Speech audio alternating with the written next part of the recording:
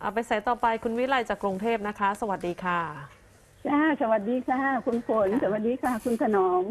ค่ะเชิญเลยครับ วันนี้มีอะไรคะ คุณวิไลอ่าคะอ่าซื้อบ้านหลังหนึ่ง แล้วก็ผ่อนมาจน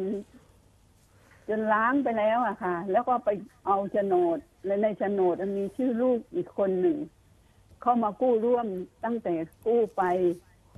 แล้วก็ไม่ไม่ออกไปเลยนะ ก็ไม่สบายใจติดอยู่เป็นยี่สิบปีแล้วค่ะ จะทำยังไงว่าจะเอาชื่อเขาออกไป ออกจากไหนอะ จากโฉนดแล้วลูกเขาพร้อมในโฉจะนอดอกมีไหมชื่อสองคนนะคะมีชื่อแล้วแม่แล้วลูกักบชื่อลูกแล้วแล้วแล้วลูกเขาพร้อมจะออกไหมคงไม่พร้อมอะค่ะ เพราะเขาไม่พูดถึงเรื่องนี้เลย ถ้าไม่พร้อมเอาออกไม่ได้ครับเพ ราะว่าเป็นโฉนดเป็นชื่อสองคนเขามีเนาะสิทธิ์ครับ ใช่ครับอืมแต่ว่าตอนส่งตอนผ่อนอะไรเขาไม่เคยให้นะ ไม่ได้ครับ จะให้หรือไม่ให้เขามีสิทธิ์อยู่ในในทางทะเบียนนะครับโฉนดมีชื่อสองคนก็บอกอยู่แล้วนี่ครับค่ะเขาจะให้ไม่ให้ก็เป็นอีกเรื่องหนึ่งอะ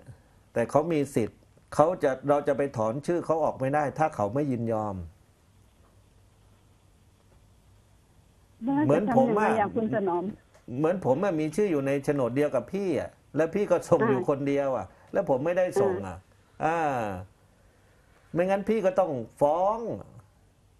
ว่าคุณไม่ได้ส่งเงินเลย ฉันส่งอยู่คนเดียว แล้วก็นำเอกสารหลักฐานการนำส่งเงินกับธนาคารใช่ไหมค่ะ ส่งใครเป็นคนส่งชื่อของใครอืมนะครับคือแม่แม่ส่งตลอ่าอดแม่เป็นคนจหมดส่ง ลูกไม่เคยส่งเลยอืมแล้วทำไมอะครับไม่เพเคยส่งราะเขาเป็นก็เขาเป็นลูกอะทำไมต้องเอาเขาออกอะครับ แม่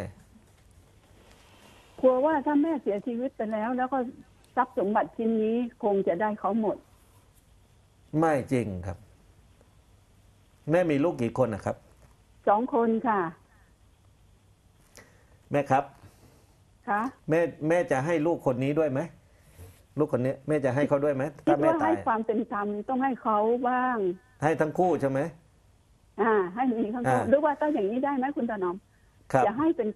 หลานแค่หมดเลยได้ไหมไม่ไม่ไม่ต้องทำอย่างนั้นนะ ถ้าแม่มีลูกอีกคนหนึ่งที่แม่ตั้งใจจะให้เขา ก็เอาลูกอีกคนใส่เข้าไปในโฉนดแทนแม่ เป็นก็จะได้เป็นสาม สองคนนะเป็นสองคนเนี่ย เอาแม่ออก ถ้าเขายินยอมให้ว่าโอเคไม่เป็นไร ถ้าเขายินยอมนะ ถ้าเขายินยอมมาถ้าลูกคนนี้ไม่โต้แย้งแม่นะเอ่อลูกเอ้ยแม่จะเอาเขาเป็นพี่หรือเป็นน้องอะที่แม่จะใส่เข้าไป เป็นเป็นน้องที่จะใส่เอเข้าไปอบอกเนี่ยเอ่อลูกแม่จะเอาน้องเข้ามาอยู่ในโฉนดด้วยนะแล้วจะได้แม่จะได้ถึงเวลาแม่เป็นไรไปก็จะได้ตกแก่เราสองคนลูกแม่ โอเคไหมอย่างเงี้ยได้ แต่เขาต้องยินยอมนะแต่ให้ให้ให้คนโต มีชื่ออยินยอมยู่แล้วยินยอม ใช่ครับเขาคงยาก รู้ว่าลูกลูกคนแม่นี้ยากลูกแม่นะต้องคุยกันแล้วแหละคนอื่นก็ไปไม่บังได้คับคุอะยไรเลไม่ยได้สิบปีนะเออคุณถนอมที่หนักใจอยู่พูดไม่ออกอ้าปากแต่ไม่ออกวันเนี้ยเอ่ออีกวิธีหนึ่ง อีกวิธีหนึ่งเอ่อแม่ทำพินัยกรรมมา ในส่วนของแม่ครึ่งหนึ่งอะยังไงบ้านเนี้ยโฉนดบ้านเนี้ยมันเป็นกฎคนละครึ่ง แม่กับลูกอีกคนหนึ่งยังไงเขาก็ได้ครึ่งหนึ่งของเขาเราก็ได้ครึ่งหนึ่งเพราะฉะนั้นเราทำพินัยกรรมในครึ่งของแม่เนี่ยยกให้น้องในนี้เขาทำได้ ยังไงน้องก็ได้ เขาก็จะไม่ได้ในส่วนของแม่ ถ้าแม่ไม่ทำพินัยกรรมเนี่ย แม่ตายไปปั๊บนอกจากเขาได้ครึ่งหนึ่งแล้วก็ยังได้ในส่วนของแม่อีกครึ่งหนึ่งด้วยอ่าแบ่งกับน้องอ่าใช่ครับ ใช่ เป็นเขาได้สาม ใช่ครับเขาได้สองครับ ของเขาครึ่งหนึ่งบวกกับครึ่งหนึ่งอีกของอีกส่วนหนึ่งของแม่ ที่จะต้องมาแบ่งกับน้องอันนี้กรณีแม่เสียชีวิตอ๋อต้องทำพินัยกรรมไว้นะทำพินัยกรรมถ้ายเรากให้เขียนเอาเองได้ไหมคุณถนอมได้ครับ เขียนด้วยลายมือทั้งหมดว่ายกค่ะโฉนดที่ดิน ยกที่ดินในส่วนของแม่ ตามเลขที่โฉนดฉบับนี้เลขที่เท่านี้ให้กับนายนี้นามสกุลนี้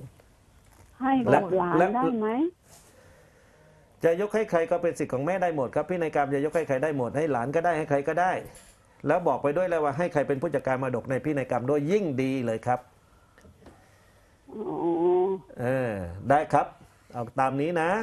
สวัสดีครับ สวัสดีค่ะจ้าขอบคุณมากค่ะ คุณผลคุณถนอมขอบคุณนะสวัสครัดีคะผมจ้าครับ สวัสดีค่ะครับ